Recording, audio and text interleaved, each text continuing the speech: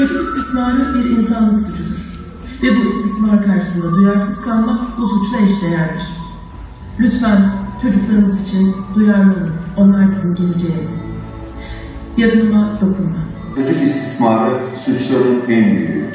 Çocuklar geleceğimiz. Güzel bir istiyorsak geleceğin güzelliğine yani çocuklarımıza iyi davranın. Ee, sponsorlara ihtiyacımız vardı. Arkadaşlarımız yoğun özverili çalışma sonucunda e, sağlıklı bireyler, sağlıklı aileleri, sağlıklı aileler, sağlıklı toplumu ve okula gittim. Okul hayatımda gördüğüm en güzel okuldu. Çünkü bir köyün içindeydi. Etrafında kavak ağaçları vardı uzun uzun.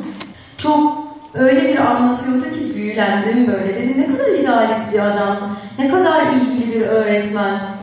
Çekmece'de cinsel performans arttırıcı gören öğretmen arkadaşımın nasıl ivedi bir biçimde üç günde görev yeri değiştirdiğini sonradan öğrendim. Ki bana da ek ders ücreti alamıyorum dedi. Her şey kazandığımız maaş mıydı? Hayır değildi. Bence miras bırakaca- bırakacağımız çocuklar var bizim. Öğretmenlik zengin olmak için seçilecek bir meslek de değil bana göre. Sistemin değişmesiyle birlikte benim öğrencilerim ona gitti, başka çocuklar geldi. Çocuklarım masal anlatmaz, şarkı söylemez olmuşlardı. Evim çok yakında bir alanda bir lojmandaydı ve çocukları oraya götürüyordu. Biz bu çocukları ne ara gözden böyle kaçırmıştık? Öğrencilerimi 8 metrekare müdür odasına kilitlediğini fark ettim. O kapıyı her çaldığında o kapının açılması 5 saniye sürmesi gerekirken maalesef ki zaman alıyordu ve her girdiğimde aynı sahne vardı. Elinde aynı çayı tutan çocuk, masanın arkasında oturan, arka arkaya duran çocuklar ve aynı sahne.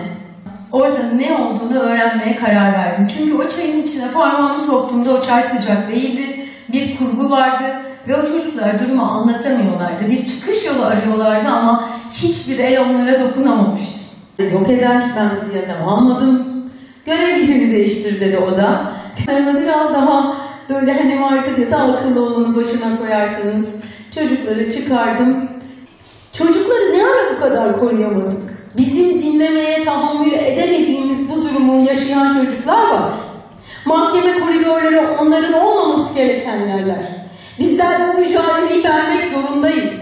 Bulunduğumuz ilin mahkemesindeki cinsel istismar davalarına gidip lütfen çocuklara sahip çıkalım. O aileler bizleri gördüğü zaman yalnız olmadıklarını anlıyorlar. Değiller. Onların güvenli olması için bu insanların tutuklanmasını sağlamak zorundayız.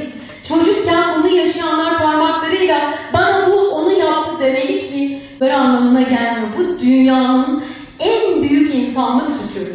Bunu değiştirecek olanlar sizlersiniz.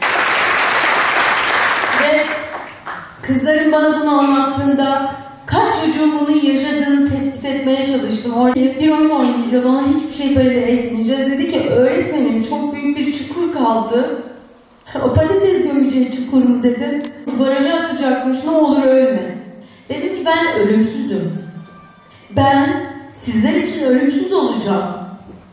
Ve biz mücadele Benim kızlarım, o kahraman çocuklar yaşadıkları korkunç her şeyi anlattılar. Ve bu adam emekli oldu. Anneler babalar perişan oldular. Köyün kahvesine gittim, imamına gittim. Hep birlikte bir mücadeleye başladık. Kızların özgürlüğü tutuklandı ve biz mücadeleye başladık. Artık diyorlar ki yardım et, yanımızda ol ve lütfen bizi bırakma. Bizler bırakmayacağız çocukları. Benim kızlarım okuyorlar ve büyük bir mücadele ve ihtiyaç çok arkadaşlar. Eğitimin kalitesini düşürmek yeterli.